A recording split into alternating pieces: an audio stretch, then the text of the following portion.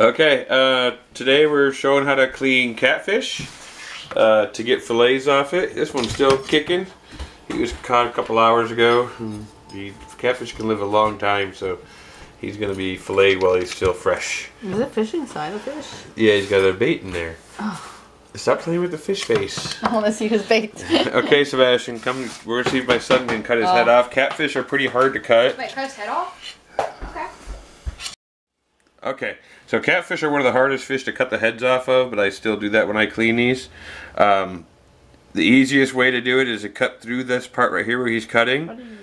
Push. You, you can feel the bone right here, so you're gonna want to go on an angle down like that as best you can. I might have to do it. You've got to put a lot of pressure on it. Okay, let me see here. We're just gonna mutilate the fish. Let's get him out of his misery.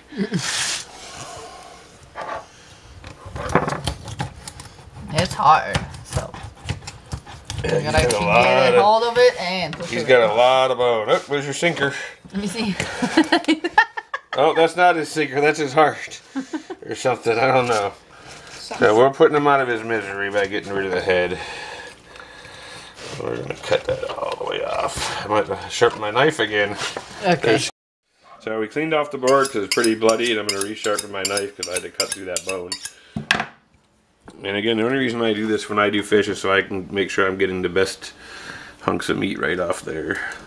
And you're gonna go all the way down the rib cage and find his little pooper.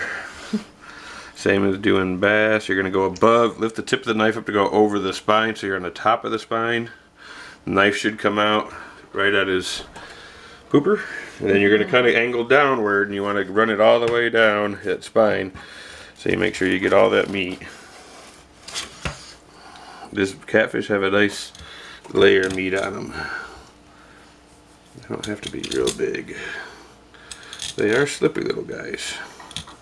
That's another nice thing about cats. They don't have any scales, but we're still going to skin them just to make sure.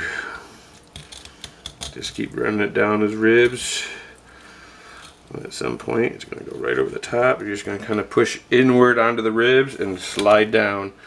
If you get some, we're going to clean that fillet up here in a minute. Going to cut through there. There's one fillet. And we got all the meat all the way down. You can see how close that is. That's the bone, so we didn't lose any. And I'm gonna flip them over and do the same thing.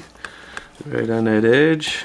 Tip your knife in there. Make sure you're on the top half of the uh, rib cage up here. You're not going beneath it. I'm gonna get down a little further. Staying on top. We're gonna go above the spine. and Come back down this thing again. Should get all the meat. They're a little more difficult to hold on to.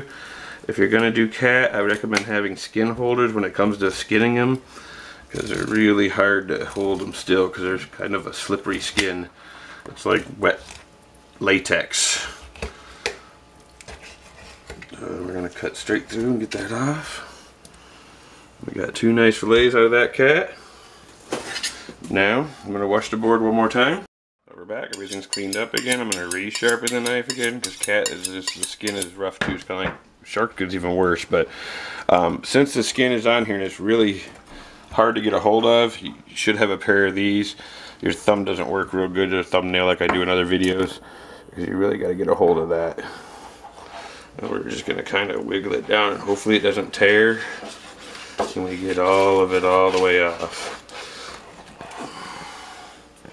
And that's the little skin stuff. I'll get the next one.